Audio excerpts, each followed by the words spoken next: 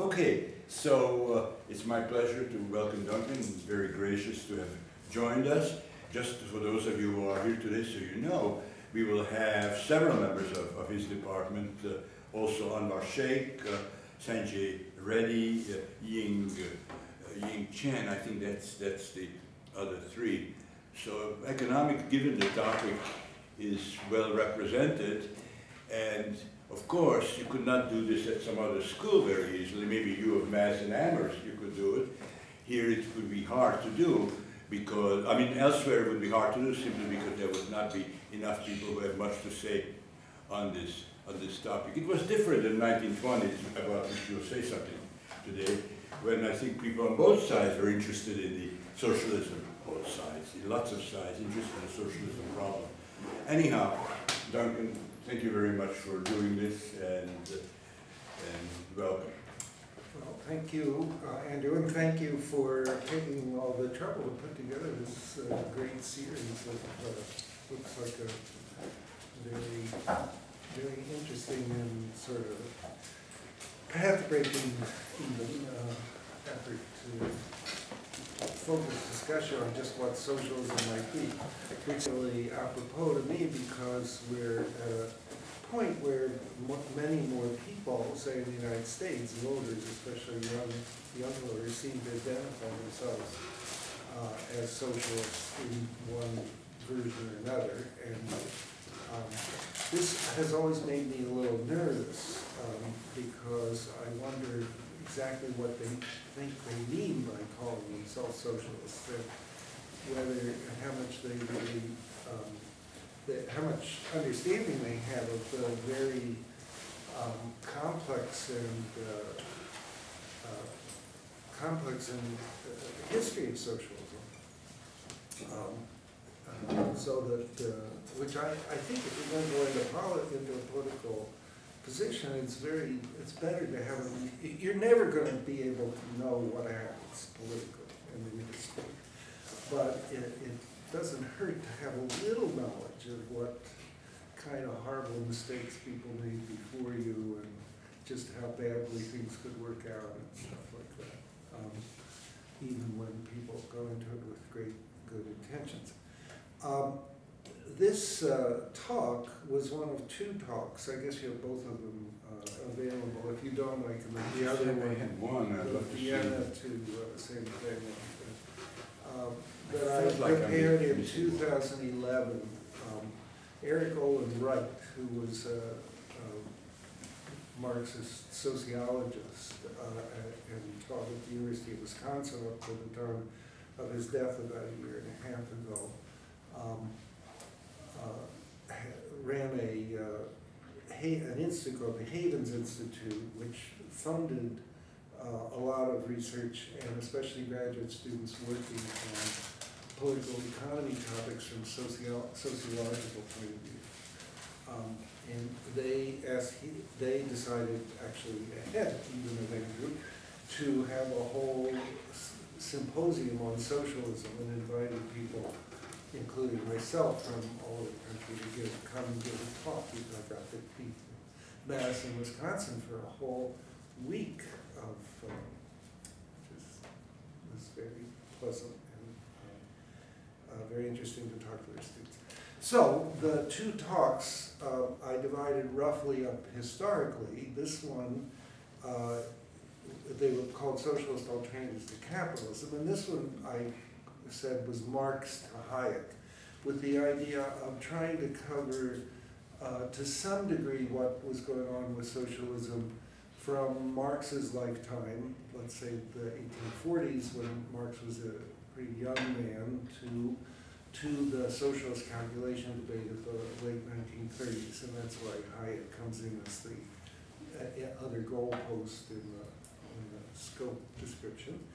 Um, the other one is called uh, Vienna to Santa Fe, and it goes back a little bit before the 1930s to the 1920s and tries to look at uh, the impact of the mathematics of optimal control theory and cybernetics and uh, game theory on ideas of socialism uh, and the transformation, of the idea of socialism from what I'll call a top-down conception, which was dominant in this first period, to a bottom-up conception that was influenced very heavily by complex systems theory.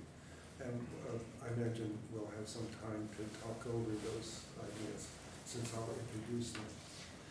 Um, So uh, the paper starts off by pointing out that there's a a long, long history of people trying to figure out uh, the good life. I mean, Plato's Republic starts off with Socrates uh, trying to answer what is the good life and coming up with the idea that you can't talk about the good life except talk about the society in which somebody lives the good life. Um, Whether Plato got on the right track, Plato was a pretty top-down guy, I would say, in his own way. Um, But um, anyway, this goes back a long time, but where, where the, where socialism, in my view, starts to sizzle, as it were, or get to be a big um, political economic issue, uh, was uh, in the late eighteenth century um, and after the French Revolution um, for a couple of uh, reasons. One is that the Industrial Revolution,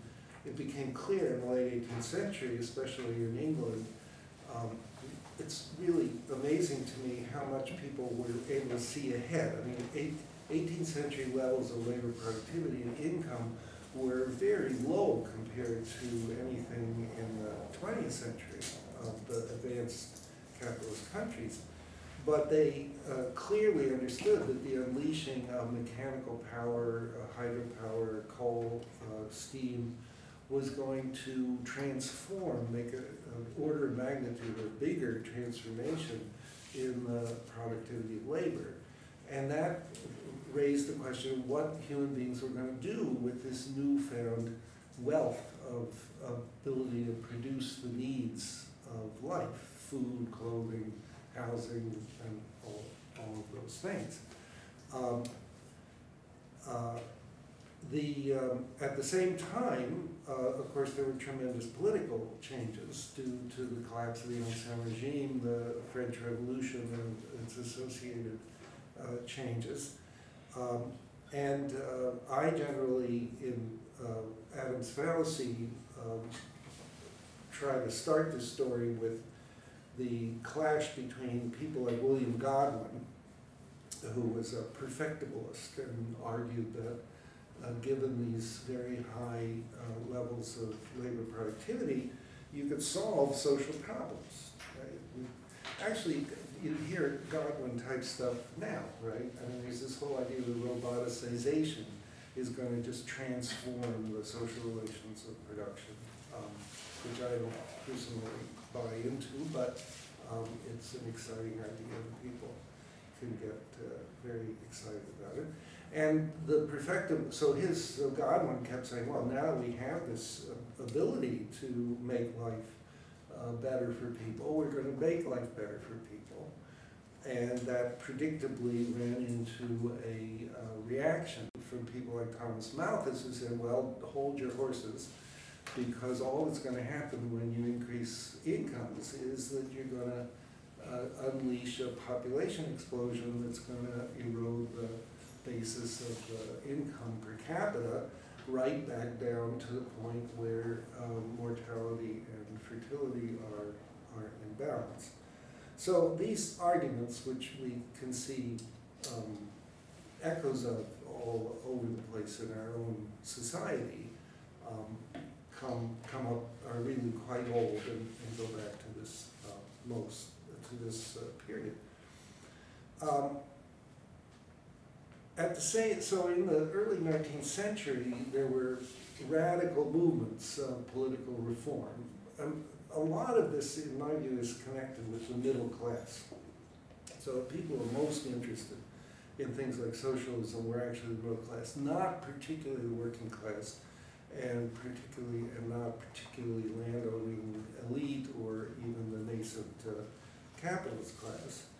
Um, but the middle classes were, did start to feel restless with things like inequality, extreme inequality of distribution of income that capitalist social relations produces, and um, started to have a whole range of movements for universal extension of civil and political rights, um, reform of corrupt national political systems, uh, free trade, Republican forms of national political organization, and uh, so forth.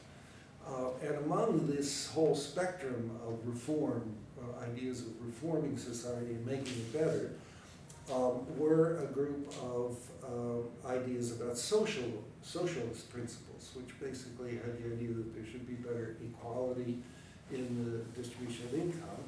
And most of the socialists, early socialists, um, had the insight that the distribution of income was unequal because of the organization of production. So it wasn't just Marx who had that idea, but a lot of people had that idea. Um, and uh, this led, for example, to a bunch of small-scale experiments of utopian socialism of uh, people like Owen and uh, uh, Fourier and so forth, where people would actually form, and in the United States, this was, this was quite a big movement in the pre-Civil War period, where people would actually um, try to gather together and form an intention, what we now call an intentional community around uh, organizing production in a different way. Now, of course, the United States, uh, the early United States had huge amount of agricultural land that was very fertile, and so everybody was basically farming, and it was not such a big step to change the farming pattern to a collective or a communal uh, form. Some of these um, efforts um, uh, lasted quite a long time, and they have very interesting histories, uh, which you might want to look into. I don't know, or maybe you're, even having somebody talk about in this uh, set of lectures.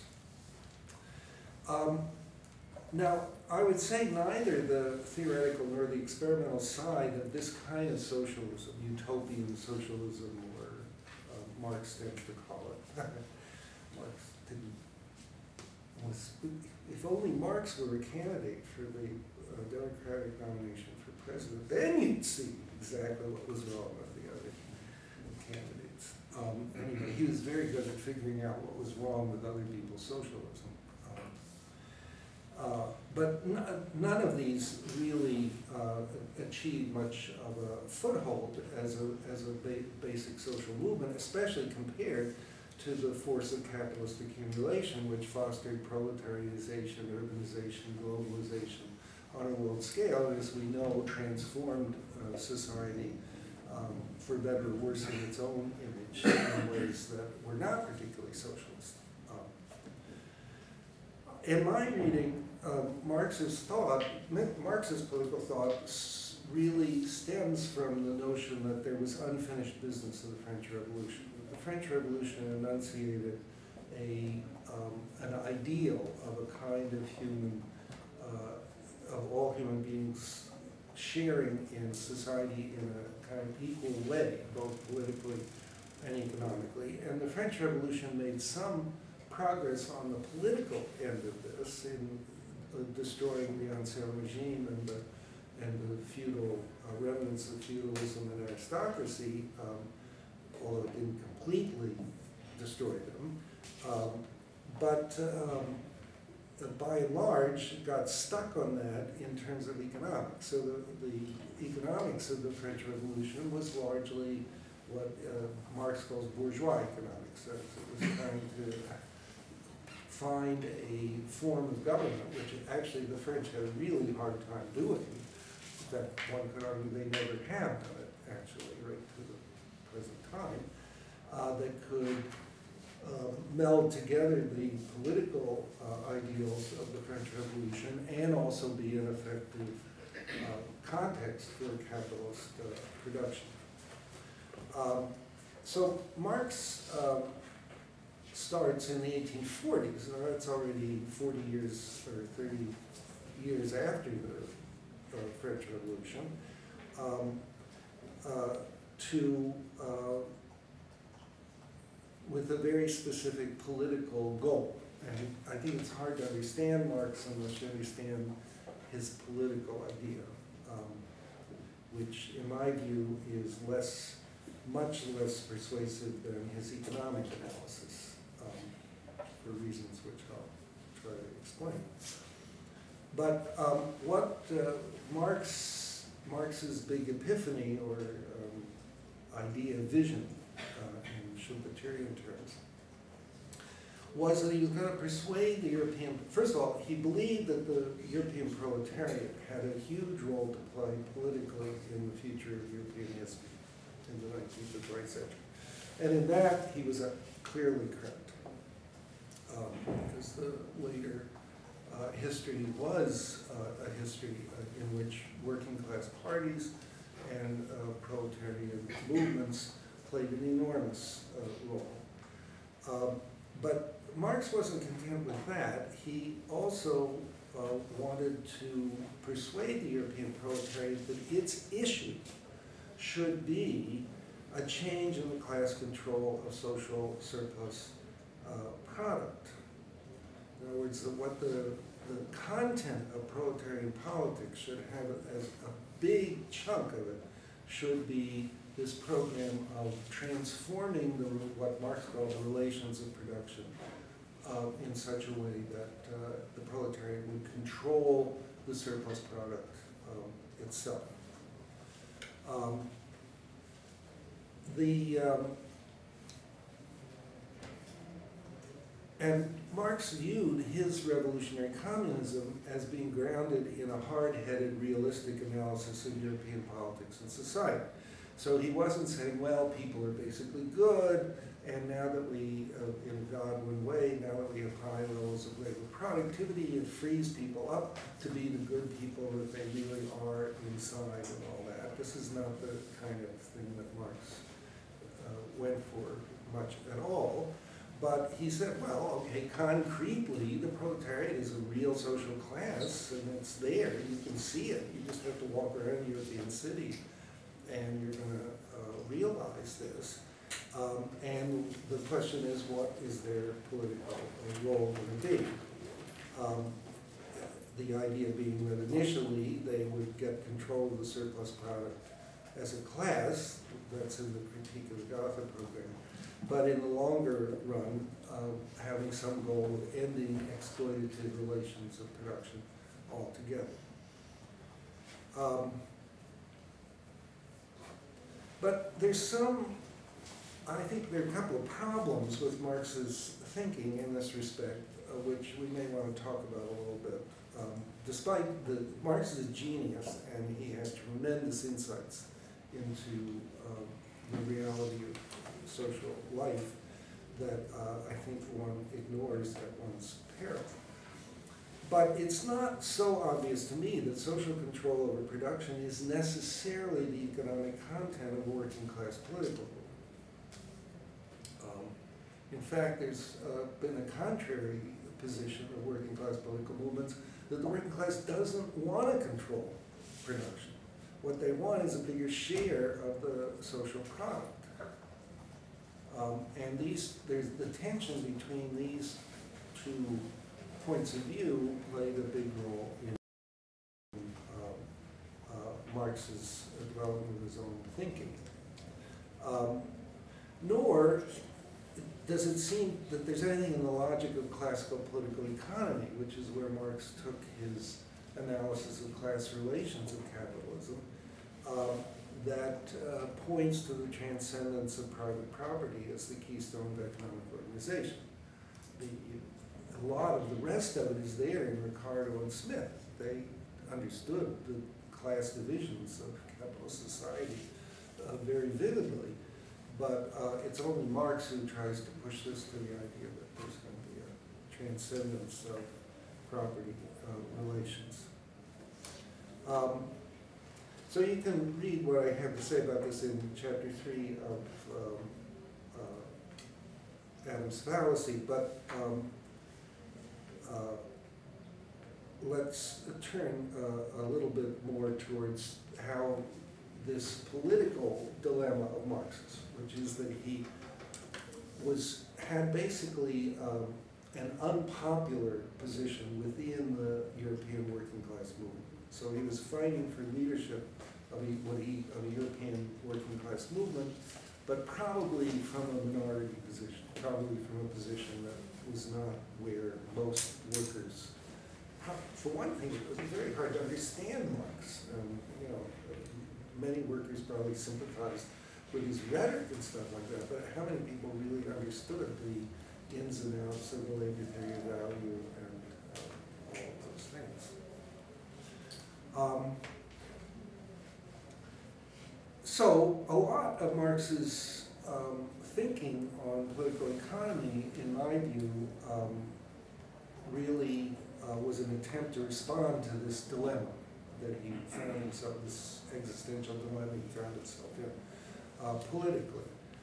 He faced a range of committed and credible working class political leaders whose economics programs fell far short of Marx's vision of epochal change.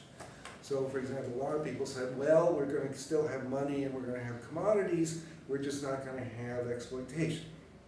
So, well, somehow workers will get the whole fruits of their labor control of the whole fruits of their labor. Um, uh, other uh, very uh, persuasive political positions were based on the idea of workers' control, that you might ha- have a change in the control of production, but it would be still basically a bunch of enter- competing enterprises, just not run by capitalists, instead run by uh, workers.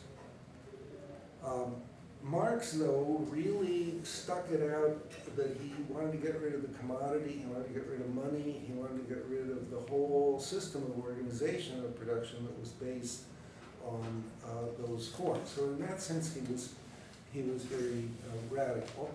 Um, a key text here, if you're interested in this, is uh, the chapter on money in the Grundrisse of Marx immensely long, really not so easy to read, but if you want to get an idea of where, of how Marx was trying to work this through. And this is one of these things that's Marx writing for himself, right? So it's full of stuff like, but then we might say, and all the stuff that I try to persuade my students to get rid of in their thesis drafts. Um, um, but he, um, he particularly was focused on the idea of the Ricardian socialists who were Ricardian people who adopted Ricardo's theory of economics, which in some ways is rather similar to Marx, and it's a labor theory of value, and it focuses on a division, uh, uh, a, uh,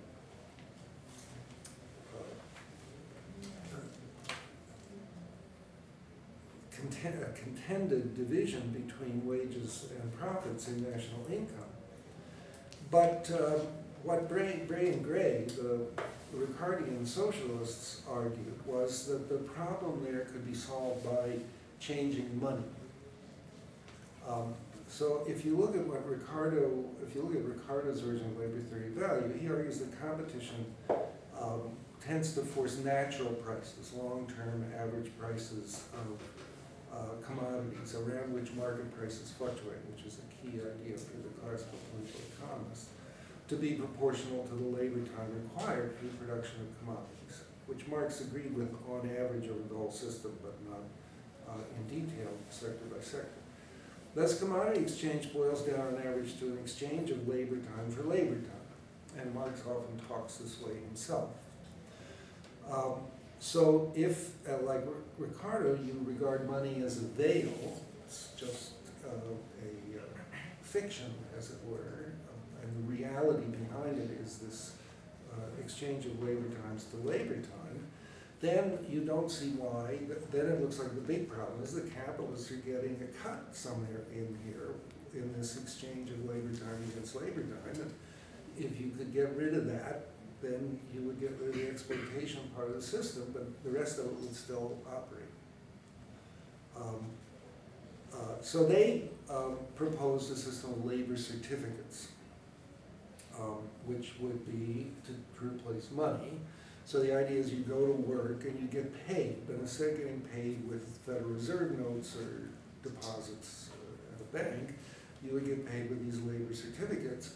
And the amount you would get paid would be proportional to the amount of labor time you put in, maybe adjusted for your skill and the training, things like this. When you get into this level, it's very complicated. Um, But um, in, in theory, then the system ought to work out all right because those labor certificates ought to be just enough to buy back the product that everybody produced in the division of labor. But because you got paid for the whole of your labor time, the workers got paid for the whole of their labor time, there wouldn't be any surplus value and there wouldn't be any uh, exploitation. Well, Marx, um, Marx did not uh, believe in this kind of thing. And it's interesting to see what he, and I think it gives you some insight into what Marx thought the theory of value was. He thought the theory of value was primarily an analytical tool that could help you ferret out fallacies in arguments exactly like this. And that's really what you see him working through in this uh, chapter on money, Grundrisse stuff, uh, where he makes the observation that under capitalist relations of private of production, private labor becomes social labor only through the exchange of products as commodities. So the fallacy of the labor certificate scheme lies in its implicit assertion that private labor could be made immediately social, which raises the question, how do you know it was social labor that the worker, um, you know, punched the time clock for? Uh, you're gonna give them the labor certificate, but so they didn't do anything, so they goofed off or, um, something of that kind. Um, So, um, from this point of view, Marx's um, thinking uh, raises some very fundamental questions that are still fresh, which is if you're going to have socialism, I guess you do have to have some way to make private labor social labor, or the labor has to be social to begin with. Marx said, well, the only way that that could really happen would be if the bank that issued these labor certificates actually ran the production process itself in detail.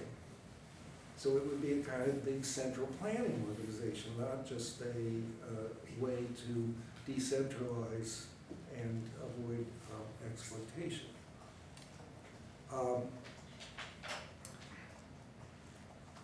So he argued that from the labor theory value, that commodity exchange equalizes labor times of different workers only on average over repeated cycles of production, which would be a problem for the labor certificate pro- uh, scheme. Uh, a second point is that the social character of privately expended labor has to be proved through the realization of the value of the produced commodity through its exchange for money. So you can't really get rid of money and still uh, have a commodity uh, process of uh, socialization, uh, of transformation of private labor to social labor. And uh, the third point, which turns out to be quite important in the 20th century, is that the capitalist extracts labor from labor power.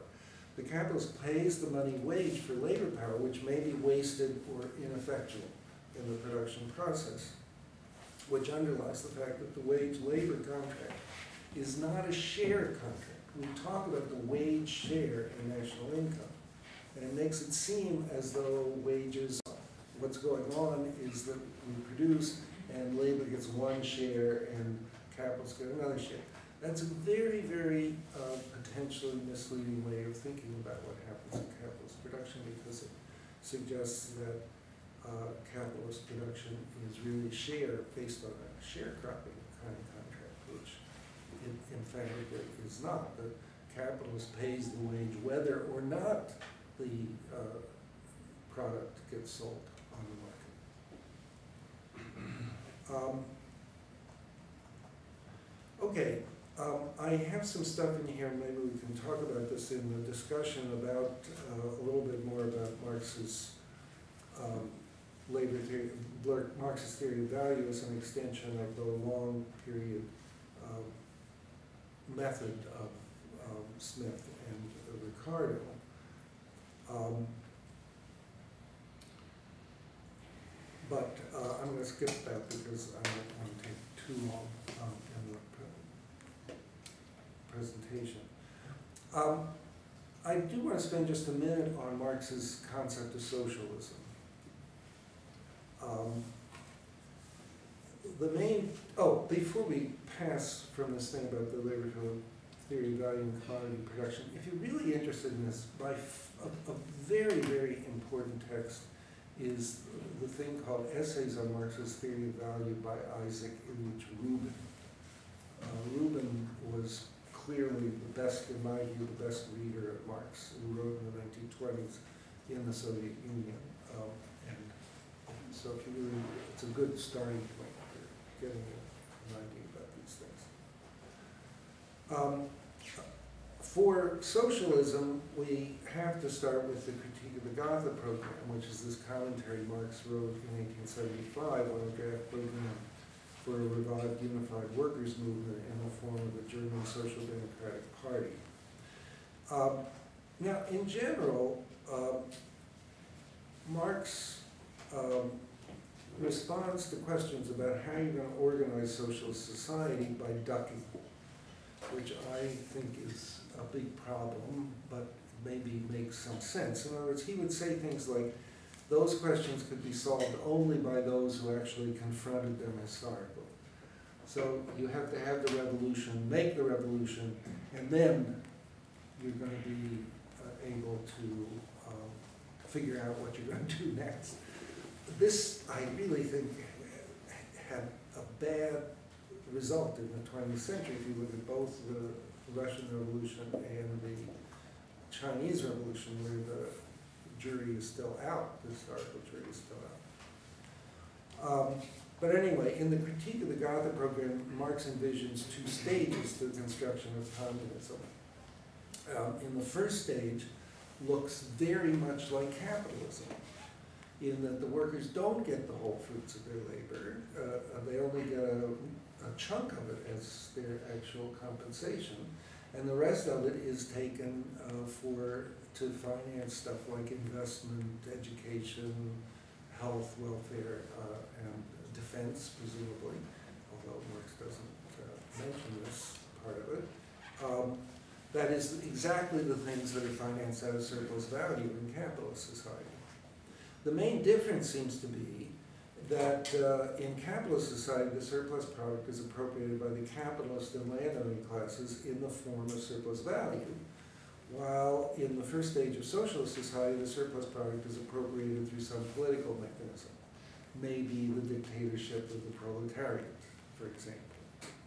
Um, Marx does not explicitly discuss the social organization of production, but we might infer that the way it works is the workers go to jobs uh, in enterprises, get paid in the form of money, no, not labor certificates, but money, and buy products with these money revenues, but the, and get exploited just like they, but what they're doing is exploiting themselves because they're supposed to be in control of the political mechanism that uh, appropriates the surplus value. Um, One thing that you notice in this, or at least I notice in this, is that although Marx obsessed on this question of the bottom-up organization of commodity production, which is the big theme of Smith and Ricardo, um, that it's a spontaneous uh, kind of organization which only is achieved ex post through contradictory um, turmoil and, and so forth. He never translates that into its social, a socialist equivalent. So the, the picture you get of socialism is that it's gonna work more like a military system. You know, somebody's gonna be at the top. Maybe the people at the top are gonna be democratically elected by the proletariat, but um, nonetheless, the actual organization of production is gonna be top-down in this, um, in this question. Um,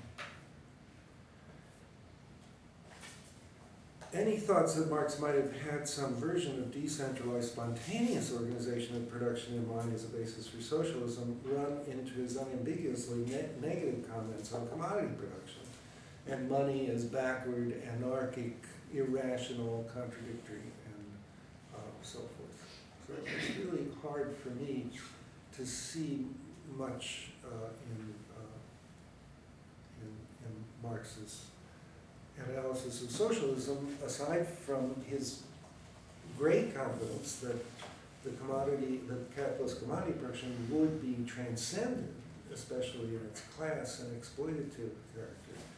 Uh, it would be transcended by a political movement centered in the proletariat. Um, but the form of organization of production thereafter would be somehow more political than economic in that usual sense.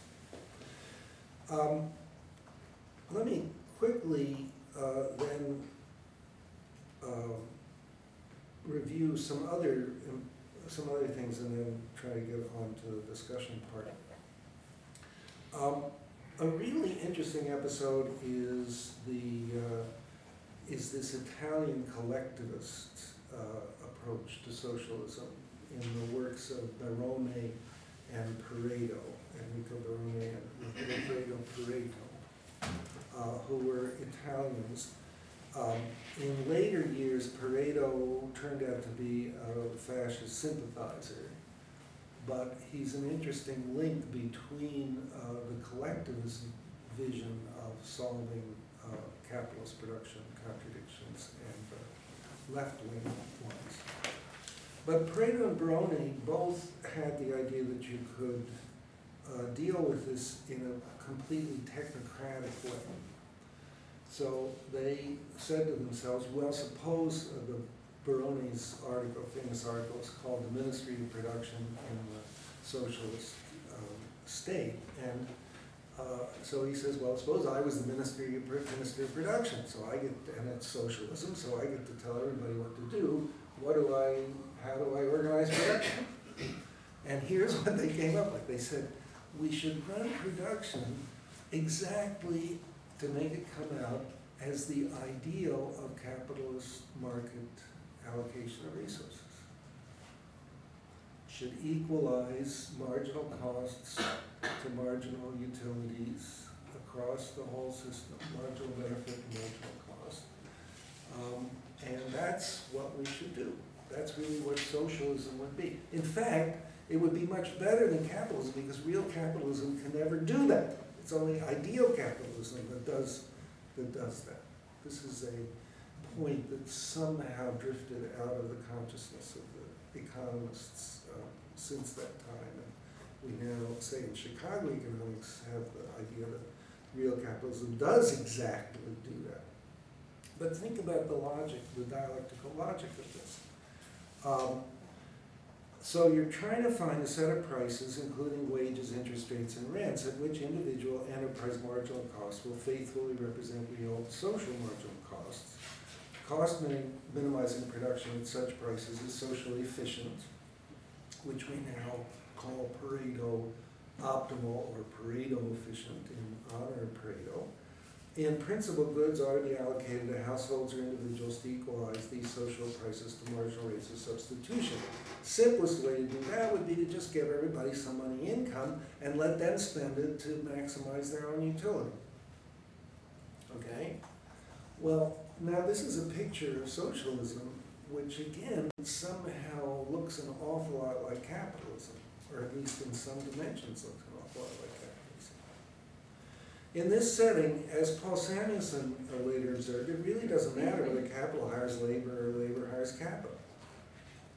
I mean, you can get, as long as you get this equalization of the marginal valuations and costs of the goods, that's the only thing that matters. And whether it's the workers that do that, or the capitalists do that, or whoever does it, doesn't really matter, or state managers.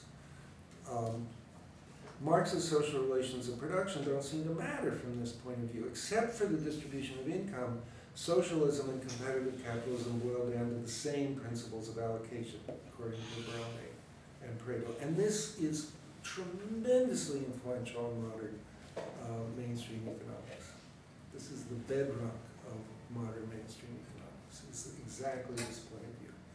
And it's what, it's, it's the way in which the economists, as it were, shrive themselves or um, forgive themselves and say that they're not, they're not really ideological and they're not taking sides because this is what Milton Friedman calls the positive part of which is not ideological. It would be the same in a social society as it is in capitalist society. Um, the only value-laden issue is who gets the income, is the distribution of income. Um, okay, let me just say a couple of words about the Soviet Union, and then uh, we can turn to uh, maybe some discussion of all of this. Um, it's interesting that exactly uh, at the time that all this, that there was a certain amount of theoretical interest in socialism, of course, history is busy doing its own thing, and in this case, what it was doing was the Russian Revolution and establishing the Soviet Union as a kind which saw itself in part as an experimental uh, experiment in socialism. Um, there were two big problems the Bolsheviks confronted in the 1920s. Perhaps the less serious problem was actually the organization of day-to-day production. That they had a variety of ways of coping with, uh, which we'll talk about uh, in, uh, I'll mention in just a moment. But the bigger one, no, was, and it's very interesting from the point of view of the 20th century as a whole, was what we now call the problem of development. That is, it wasn't how did you allocate resources or how, how would you, or, you know, make production happen. It was how do you transform the backward, largely traditional agricultural economy of sprawling, of the sprawling Russian Empire into a viable industrialized power. And the reason that you wanted to do that was because you knew you were going to lose the next war if you didn't. Because you lost the last war. So that was priority uh, number one. Um, the Soviets arrived at a practical solution to the problem of organization of day-to-day production fairly soon after consolidating political power through the Civil War uh, with the whites, which took the form of what they called the New Economic Policy, or NEP. Now, if you're interested, I think that the NEP is an immensely important thing to understand and probably is, to some considerable degree, understudied historically and theoretically.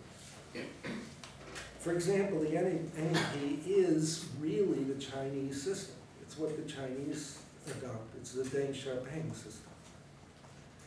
And uh, you might want to uh, look at Isabella Web- Weber's Cambridge University PhD thesis on the Chinese reforms, because she approaches the Chinese reforms from the point of view of how did communists come up, Marxist communists come up with this idea, and tries to establish the links to the Russian experience and the NEP in the whole Marxist debate about this. The idea of the NEP was that you were going to actually use socialist control, uh, political control, to foster a substantial capitalist sector that would work according to ordinary commodity production rules. And it worked pretty well.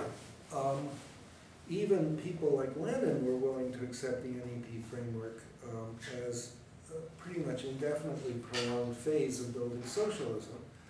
Um, Lenin would make exceptions by saying, well, the state should hold the commanding heights of the economy through control of energy, transportation, heavy industry, and finance, but as far as actual day-to-day production, clothes, food, all that kind of stuff, maybe you're better off just letting that be, those be ordinary commodities. Um, why didn't the NEP last? Well, first of all, there was this overwhelming pressure of development. And NEP um, had a bias towards agriculture. And as a result of the bias towards agriculture, it tended to foster higher prices for agricultural commodities and higher incomes for agriculture. And this made it much more difficult to mobilize agricultural surpluses to industrialize and urbanize uh, the country. So that was one contradiction that uh, struck. And the other was that, in, as you would expect, there, the NEP created a wealthy proto-bourgeoisie. A lot of people made a lot of money out of it, just like the Chinese experience. Uh, we can see in the Chinese experience, and in particular, even some agricultural um, entrepreneurs made a lot of money. Um, that created a threat, what the communists, the Bolsheviks saw as a threat to their political monopoly. And uh, that was another um, uh, motive in the destruction of NEP.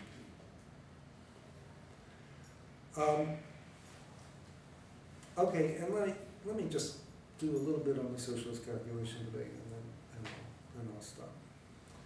Um, so while the Bolshevik um, experiment was going on, um, academics were not, academic philosophy and economics was not sleeping. Um, there were plenty of people who wanted to poke their noses into this whole debate.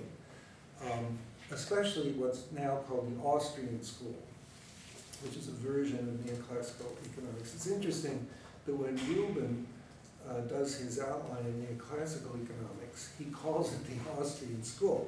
Although now the Austrians view themselves as heterodox economists because they're too far on the right, I guess, or something. Anyway, um, the idea of the Austrian school was that there are universal economic laws. Now, when you look at these universal economic laws, they look pretty much what, like what Marx called the laws of commodity production and mo- monetary exchange. Um, and they have to do with equalization of the rate of profit and equalization at the margin of uh, the values of uh, different uh, use of commodities.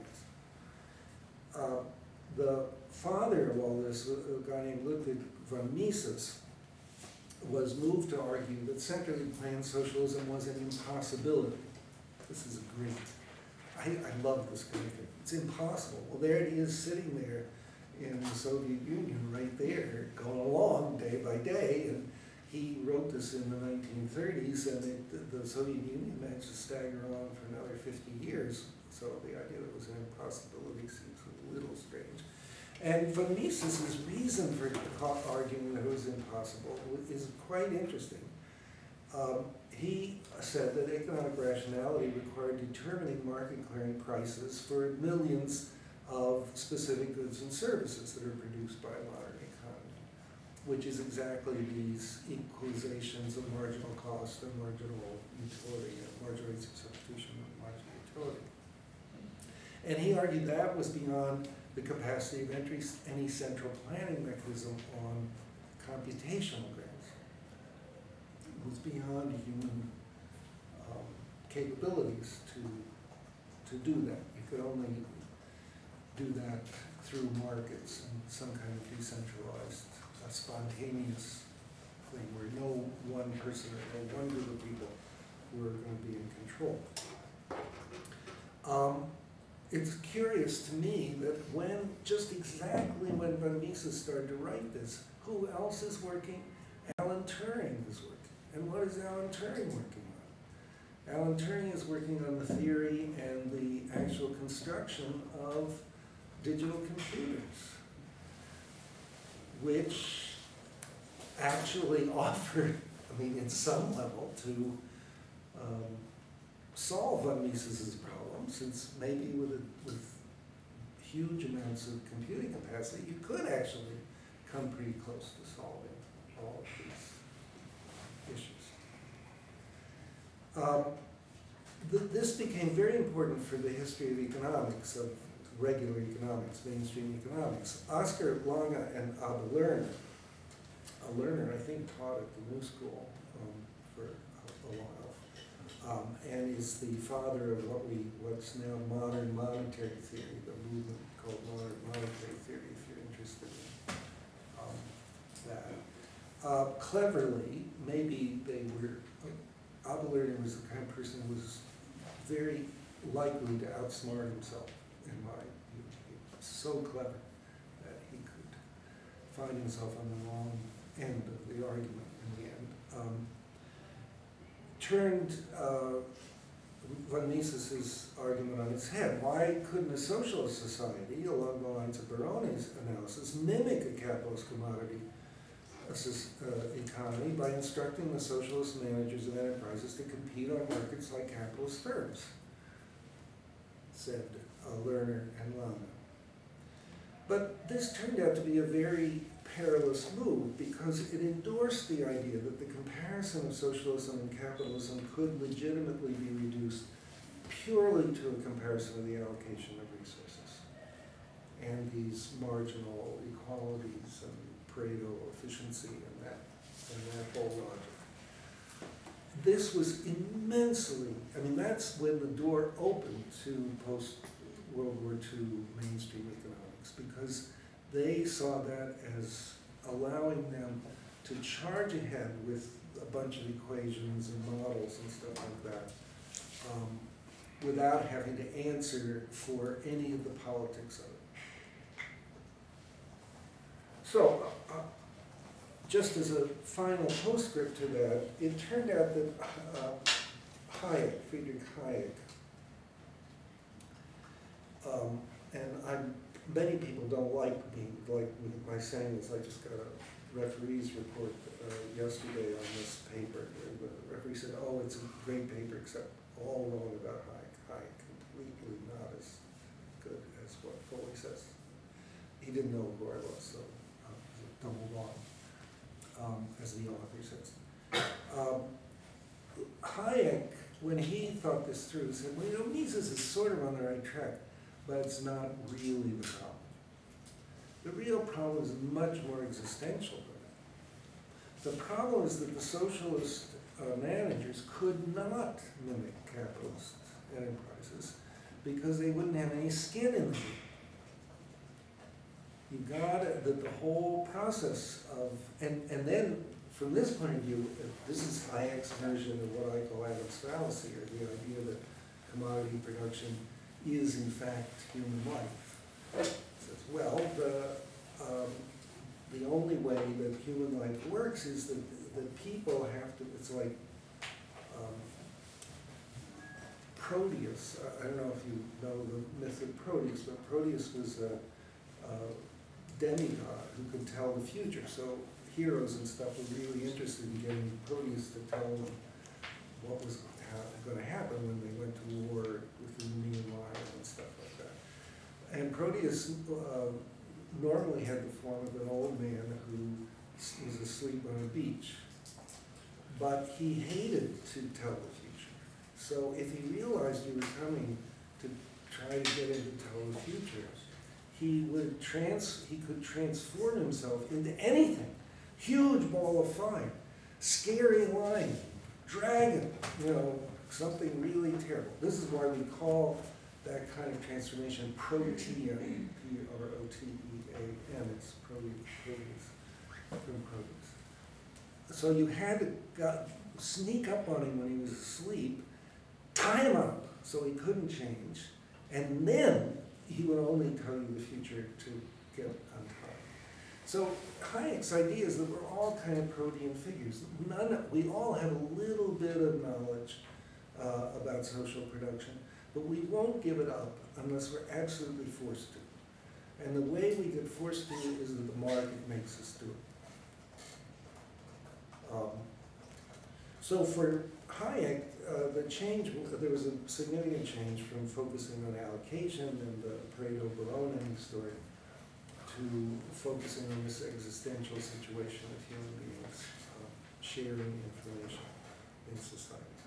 Okay, so I think that covers Thank- some of the material. Thank you very much uh, for wonderful paper and, uh, and presentation.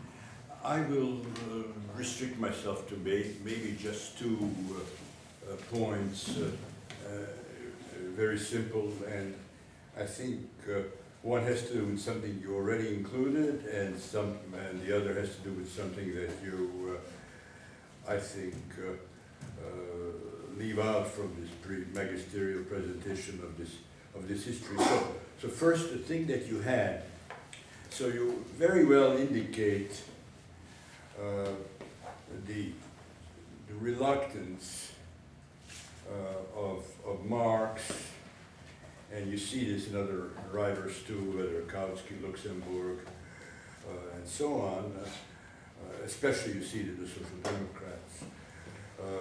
The reluctance to actually try to spell out what the socialist future uh, would be.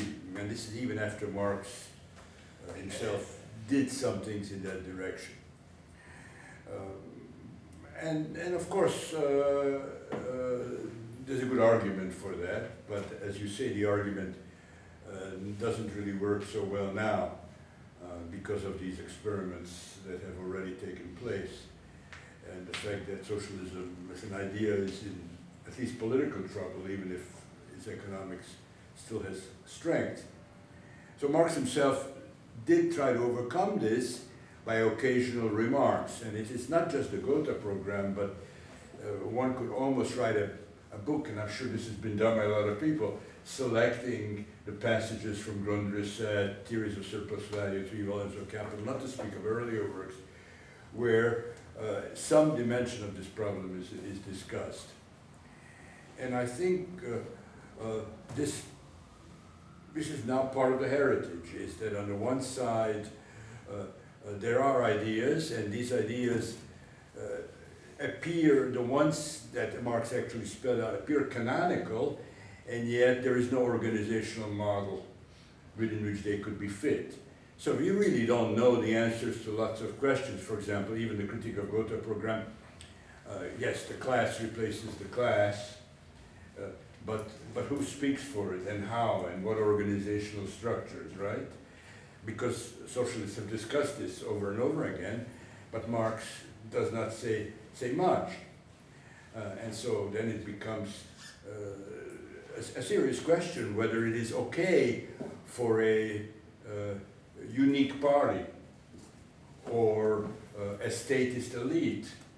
Uh, and, and, well, obviously Barone and uh, Pareto think it's okay to do it, uh, do it that way. So, so re real troubles are, are left to the, left to the future not only because Marx didn't go into it, but also because he went into some principles on the one side. For example, the stress on labor values labor time, which you mentioned, uh, which seems to indicate, I think if I read you correctly, that the Ricardian socialists are wrong only because they think you could have these labor certificates uh, in a market system under capitalism, but perhaps under socialism the implication is, I think the text is from the, um, I'm not even sure now which Marx text you refer to, but doesn't matter. Uh, the implication is that once you do have uh, uh, something like central planning, uh, then this, this would be the basis. And this is a very serious problem for the future because no one ever knew how to calculate in labor time, right? I mean, you're the economist, not me, but it can't be done because of the variety of labors. Uh, even under socialism, there remain, there's a variety of labors. So, uh, so how do you convert uh, uh, the new school uh, uh, guard downstairs and you and me, what kind of skill would we be using to determine what our certificate after 10 hours of work should say each day? Should it say the same? Should it say something different? What is the conversion? What is the basis? And this is, an, this is a problem for the future because Marx seems to be committed to it in some way. Okay, so that's the first question uh, that in a way uh, uh, is, is much, it's a question of, of Marxology to some extent because after all socialism in the 20th century tries to deal with many of these questions in a lot of ways and perhaps you don't have to worry about it too much but I, I would still maintain that the Marx's assumptions and the fact that he combines some principles with uh, uh, the absence of organizational uh, uh, tools uh, creates problem, problem for the future. then the question about the omission, I, I, must say I don't buy this Turing argument against von Mises. I mean, the Soviet Union already in the 1950s, 60s could have whatever computers that it wished to have. Uh, the planning apparatus is in place. So why does the thing produce even greater disaster in terms of allocations then than it does uh, in the 1930s? Because in the 1930s, they industrialized this place. Uh, the horrors, of course, are undeniable, but, but in a way they accomplished the task uh, from the 1950s, 60s on. When the computers are there, they don't accomplish it. In fact, they fall behind further and further and further. So, so, I'm, so this, I don't buy the argument. And the reason, I, the question uh, that I wanted to raise is that perhaps this has to do with some omissions on your part. Uh, I'm not an economist, and so I can't really now uh, uh uh, argue what, what Hayek's position was. Uh, and of course, it is now filtered through many writers subsequently. But I think it is not only a question of coordination, it's also a question of information. I think his point always had, always was and had to be, we'll reread him to check, that it is uh, uh, that the market in a way performs two functions. One gains information about, about needs, that it does so, the capitalist market in terms of effective demand, and it also coordinates then uh, the decisions of the producers. So it, it has a double function. And what the Turing computer idea addresses is only the second of these, not the information problem. And I think the information problem would be very tough to solve uh, without a market, although people have advanced various democratic options uh, uh, for substituting for market in that case. I'm not so sure, not convinced, uh, convinced uh, that, that they would work. And the second omission, which is only a partial one for you, is, is that of property. Because it's, it's, it's, it's one thing, of course, uh, to just focus on the capitalist, or rather the, the, uh, the Soviet manager, uh, who presumably has no property and therefore has no reason to follow what, uh, what Lange and what uh, Abba Lerner and Brus and all the market socialists would have uh, claimed would be desirable is to, uh, uh, to uh, make efficient and economic choices about prices and investment decisions. They have no personal stake, you said, and so they can be relied on. But it is not only them who have no personal stake, the workers also have no personal stake. And indeed, uh, uh, the various levels of the bureaucracy also have no personal stake. So the tendency of such a system is for no one to care about those matters, not just the single manager, but the rest of the, uh, the rest of the constituency. And this has been pointed out by lots of people is a fundamental lack that the property question is not solved. Now, the answer to this is not automatically capitalist property, but real property of some kind. And I think if you mentioned the NEP or you mentioned China, uh, part of the solution is not just restoring the market, but also restoring property. The NEP has three forms of property, right? Has state ownership, it has uh, uh, collective ownership by cooperatives, it has individual small-scale ownership by peasants, China now, you probably would add also municipal forms of ownership. Uh, now, these, uh, some of them are capitalist forms of property, but not all of them. And I would say that that would be an important addition to your very excellent presentation, that uh, uh, uh, uh what, what the tradition doesn't solve without the market is the information problem, and what the tradition does not solve uh, on the basis of motivations, uh, in terms of motivations, is the property problem, and I think that those two uh, also also matter. And of course, going back to my first point, Marx leaves off these puzzles because because he assumes a system of no real property. State is not a real owner, uh, right? And he assumes uh, uh, also uh, that, uh, uh, well, what's my, uh, the second, no, I'm forgetting the second half of what I wanted to say. Okay, so I'll stop at this point. I just have one Yeah. little footnote, then could open up. Um, There is a position that the problem the Soviets hit in the fifties and sixties was not just coordination, it was the fact that in the thirties, they were operating a labor surplus economy in Lewis terms. And by the fifties and sixties, labor was starting to become actually scarce in the So this is the intensive, they're- extensive problem. And yeah, And the shift from extensive growth to intensive development cannot be, but that would be a very serious objection against the model. Because it is only good to industrialize a country which is not industrialized in the first place, right? And it is no good to deal with the problems of a capitalist, a developed capitalist country. And that would be a very serious objection against Marx, if it were true. And it's a serious objection against the model in the Soviet Union and China. And they learned from it by going to NEP. That's what you said. I completely agree with Deng Xiaoping and NEP analogy. But going to that, from a classical Marxian point of view, is backwards. Lenin even called it a retreat, right? It's a retreat, a temporary retreat we must carry out. Then he perhaps didn't think it was temporary, but that's what Trotsky is. Trotskyism always assumed that it is temporary. Preobrazhensky is just as much an enemy of it as Stalin. Okay, but anyhow, uh, I think that's probably the explanation, right?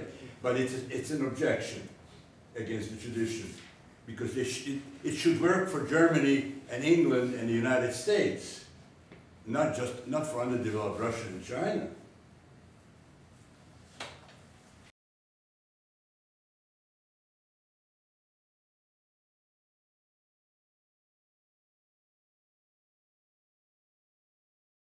problems of Hayekism, and I think you, you raised the key point, that this very piece that you said, well, look, it means that nobody, it- there's no rationality, so there's no real discussion of what we think of as political economy. There's only a discussion of procedure and process.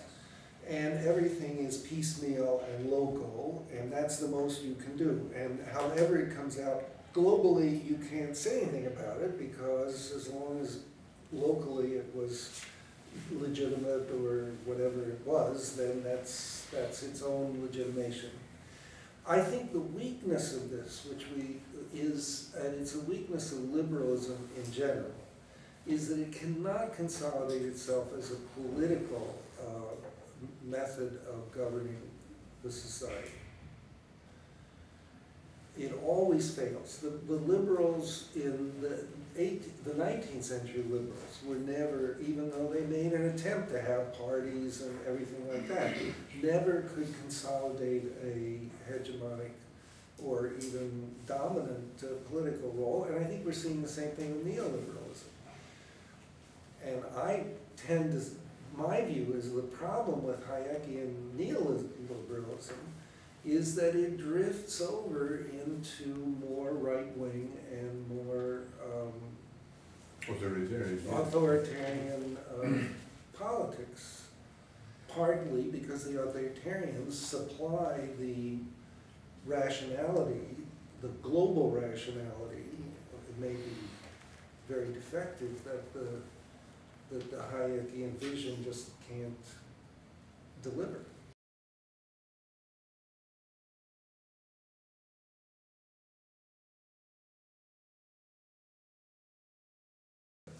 Well, Pareto's own history is very instructive in this way, because you would think Pareto would be a John Stuart Mill liberal, right? I mean, that, that would, in some way, but he isn't. He realizes, I think along the lines of the points that you were making, that, that the, uh, that you're gonna have to have a strong state. Um, my colleague Clara Mattei is writing a book, a very interesting book, which includes a review of Italian uh, politics in the nineteen twenties at the beginning of the fascist, of, of the fascist uh, regime. And it turned out that Pareto, although he was a very senior person at that time, was pretty sympathetic to the fascists. Um, probably on the grounds, very much like these, that, well, you just can't trust people to pursue their self-interest the way the liberal economics. You, you, you're going to have to have the state enforce their self-interest. So that, that would be my rough answer to your, to your first, to your first question. And, and I do think if you look, I mean, okay, one more thing to say about that. The difference between the Mont Pelerin Society and John Stuart Mill is that the Mont Pelerin Society gave up the idea of no state intervention, of the watchman state, or whatever you, night watchman state. And they accepted, and this is why they've had such political influence, they accepted the idea that you're gonna have a strong state. You just want it to be deployed in the interests of this particular view of political economy that they have. Um, so I think that's an important point. Now, the, the, the second question, just remember. It's liberalism or liberalism, is it, can we distinguish? Oh, economic, well, see, in order to really have a good discussion of that question, I would have to understand better what content you put in the words political liberalism and economic liberalism um, than I do right now. So, um, but I think, in a way, your question reflects exactly what I was trying to say, that the dilemma of liberalism is not that it, it doesn't make sense logically, it just doesn't work very well politically.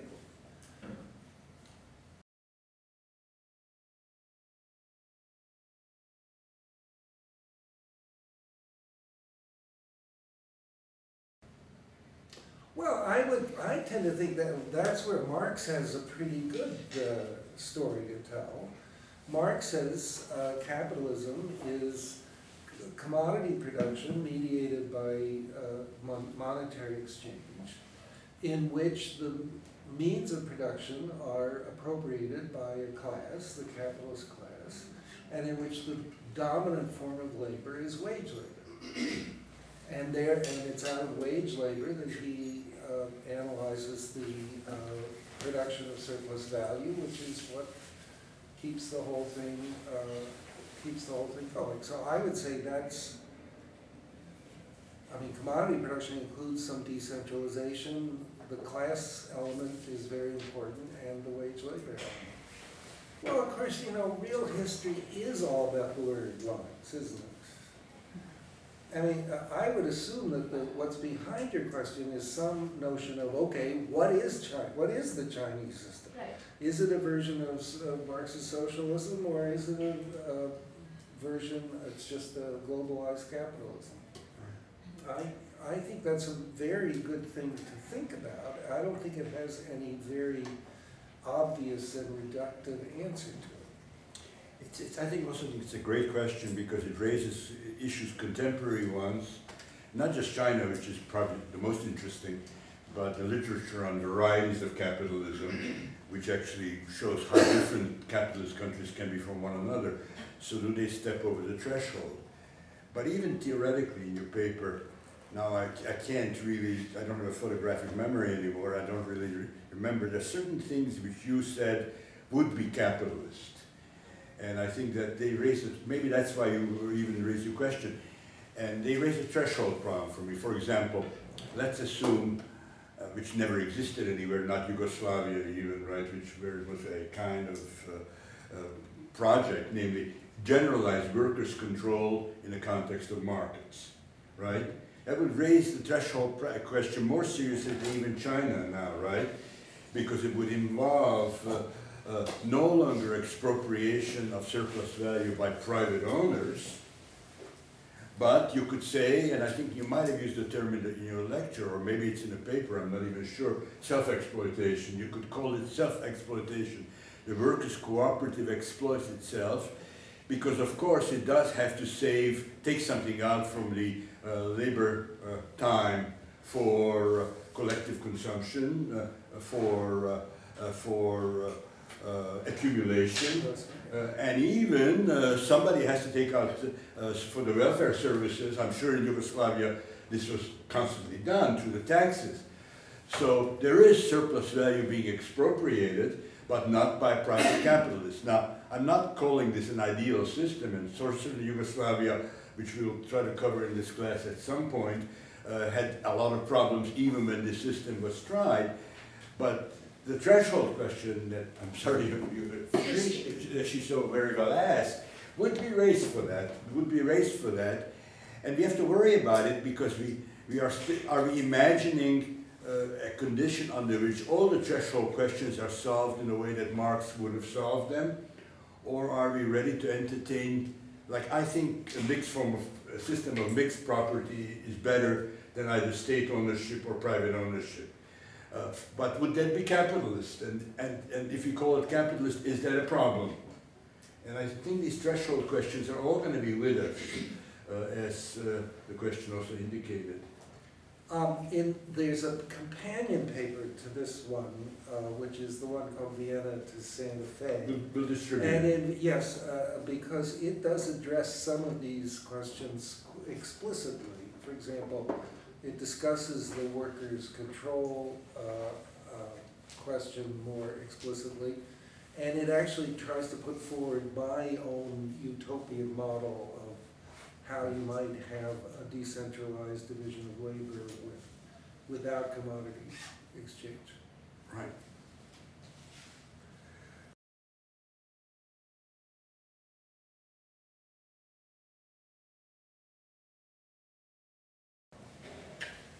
Well, you know, um, you, if, you might want to take a course on economic development theory, um, because it turns out that that basic pattern of transformation, this is in the, this is in the work, especially one, uh, path, um, seminal work on this is Arthur Lewis's analysis of the dual, dual economy and the labor surplus economy.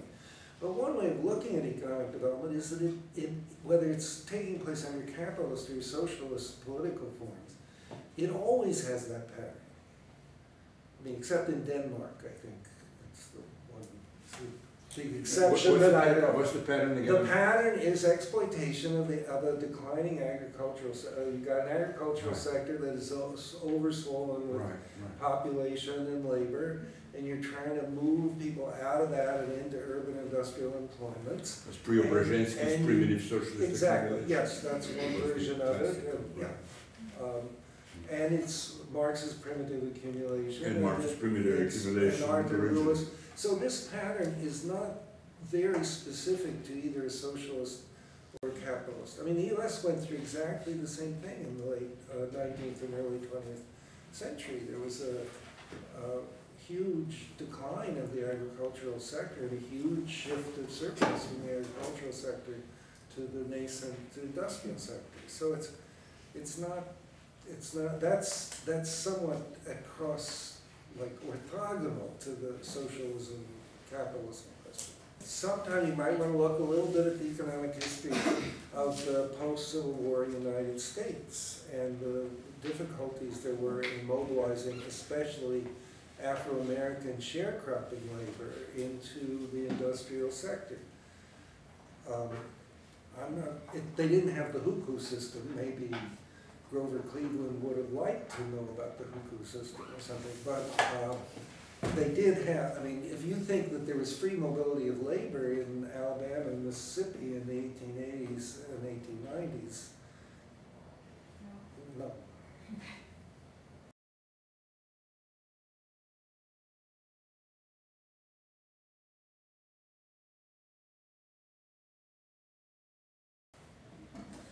I, I don't think, I mean, now, I, I don't know a whole lot, of- as, as much as I would like to about Marx's intellectual and personal biography. And I don't think anybody really does, because although there are very, uh, source, good source, some good sources, I don't think they've, by any means, all been, uh, really used effectively biographically. The best one that I know is by this guy Sperber, I think, uh, I thought was an attempt. Um, and the, and Marx's life and his work is so politicized and so ideologically uh, contentious that it's practically impossible to for us to get any balanced or uh, perspective uh, view on. I don't think Marx was interested in peasant question, really. He I think yeah. maybe Engels was a little more interested in the peasant question, but I don't think Marx was. If you read what he had to say about Irish labor in, uh, and, and uh, he understood where the proletariat was coming from. He understood that the proletariat were transformed peasant class. And he could see that in Germany, which is what, what he, I think he always took as his um, main uh, reference point for that kind of thinking. So I, I, I'm not sure that he would have particularly um, held out for slowing down the decline of the peasant agricultural uh, economy. But even without that, and I think this is obviously, the peasant question is an Achilles heel of the tradition, which then uh, Lenin and Mao are the ones who in some ways uh, figure out how to deal with that. And Or, or I would put it, we're left holding the bag. Left holding the bag. Okay. But of course, they can't avoid it because for reasons that now Lenin and Trotsky see, uh, the revolutionary option migrates from the West uh, to, uh, to the East. And so they have to deal with peasants because that's what they have. And they get, they have holding the bag. And of course, uh, you don't want to blame them for Stalin, but on some level, there is even there a line. I mean, one can show that Preobrazhensky's solution of of primitive accumulation, primitive socialist accumulation through just taxes and prices was not going to work. So what was going to work if you weren't going to do it? But I think that, uh, that since we should proceed immanently, uh, uh, your presentation shows a different Achilles heel, which we have not stressed, and that's between the political and the economic dimension. Okay. And that is, I think, uh, in your paper, the major thing that, that I was very impressed by, uh, how openly and how well you express it.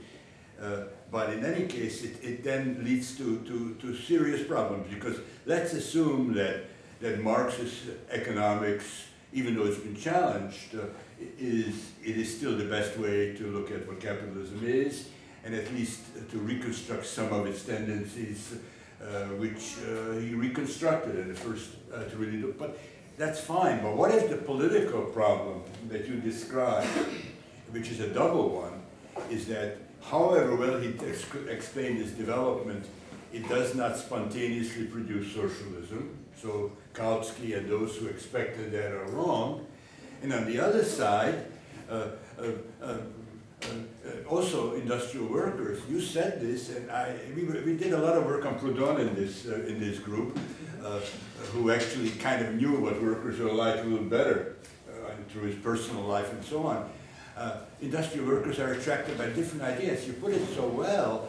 Uh, they don't want to control it; they want to share it, right?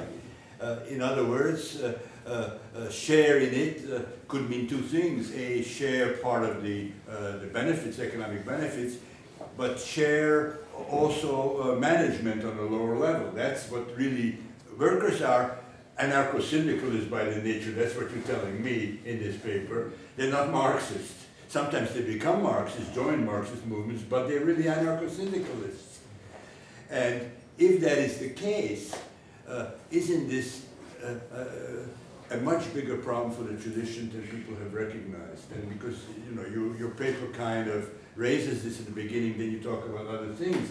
I'm not entirely sure how big a problem you take this to be, but it is a it is a huge problem. Oh, I think it's a decisive problem for Marx's actual personal program. Uh, Right. he, I mean, the proletarian revolutionary program never,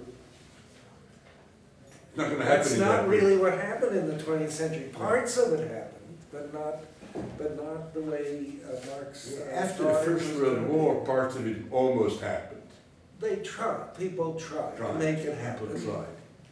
But uh, it didn't happen, largely, I think, because of the contradictions that you. But even there. I would say they were more Proudhonian because it's a counter-conciliar movement everywhere workers who want to take over their firms. They're not fighting, I completely follow you in this, uh, uh, they're not fighting for centralized control over the whole setup. they are trying to set up workers' collective that control their own workplace. And that's true in Germany, that's true in, uh, in Italy, and I think it was true in, in Russia too between February and October. It was true even there. February to October is not a real Well, October it changed. it- window, is it? It changes, right? That's the, but, but that's, you know, a really serious problem. I mean, not just a serious problem, it's even a problem, I would think, and this would be something that we can't uh, really figure out now, is this a problem then even for the economics on some level? Well, sure, and uh, let me, um, if you're interested in that, if any of you are writing theses or stuff like that and want to get into the political economy of this, you might want to look at a part of Sam Bowles's book, Microeconomics. Um, in the, I think it's chapter 12 or 13, he raises the question of would the worker prefer to stay a worker or would the worker prefer to own the firm? Okay, and this is the kind of question that Bowles has the analytical, has analytical tools which are not perfect or complete or anything, but at least it gives him some leverage over this. It turns out uh, that the answer to it has to do with risk. Because with, if the worker is gonna take over the firm, the worker is gonna take over certain risks that are involved that uh, offset the fact that the worker no longer has to uh, pay the, uh, uh, you know, has to be exploited. So if you're interested in this, there, there are ways to try to get some leverage on, on this. And uh, is it good for the other workers who are not part of the firm that these workers took over the firm with respect to uh, hiring more who were previously not well employed or didn't like their job? Would workers who control the firm want to share ownership with larger and larger number of In people? the, in the second paper, I go through the, I summarize, it, actually, the economic analysis of workers' control was very well uh, developed in the nineteen seventies, Yes. especially by a, guy named Jaroslav Vanek, and uh, a there was a yeah. series of, uh, he was part of a group of people who really did this very seriously. And it's clear that one of the prob, macroeconomic problems of workers' control is it has a bias against employment Right. because the workers who control the firm don't want to hire enough up to the marginal product because it dilutes their share of the uh, surplus of the firm. Um, And maybe bias against long-term accumulation. Well, that doesn't seem to be as true. I mean, actually, in this same Bowles book, there's a chapter on workers' control which um, summarizes some of the work. A guy named John Pencavel, who was a Stanford professor, uh, systematically did a huge amount of work on workers'-controlled firms, in, especially in the United States. You may not realize it, but workers' control has been a significant, although not a dominant sector of the US economy for forever, really, and it doesn't show much signs of either growing or shrinking, so it seems to be pretty stable. Well, that's one circumstance historically where workers' control uh, happens. For example, it even happened in West Virginia. There was this steel company in West Virginia under the George W. Bush administration that, where the workers tried to take control to keep the thing uh, going. I mean, you can see where the Rust Belt politics, I mean, there's desperation for you. The, the workers are willing to actually try to take over. It didn't, it didn't, it didn't work. It wasn't a permanent uh, solution. But here's the general point you attribute to Marx is right, is that you want to do these things under a strong capitalist setting with its ideologies, it's one thing. If you wanted to do it, but of course Yugoslavia would speak against me here, you wanted to do it under a setting of state ownership, your advantages should be greater. You should be able to do it better. But perhaps not under a single party system. So perhaps Yugoslavia should have been improved in some way for this to be able, politically to be able to work. So both a capitalist system and a Stalinist type, single type party system may not be the ideal settings to give anarcho-syndicalism or workers' control a real chance? Well, now let me make one more um, possibly uh, subversive comment about the Yugoslav system. There has to be a relation between the fact that Yugoslavia was this extremely unstable ethnic uh, uh, coalition of different proto-states or actual states and the workers' control form of organization. Yes. Why? Because the workers' control form, form of organization allowed the Slovenian firms, let's say, which were extremely Slovene uh, and Croat. profitable, and the northern Croatian firms, it, it allowed them to keep their surpluses without pressure to uh, transfer a whole lot So of the money redistribution to problems would Serbia, to southern Serbia Right, and right. Kosovo and stuff. So, right, right, um, I mean, these things are all connected. do right. Anybody else? Well, thank you very much, it was wonderful. It was really great to have you.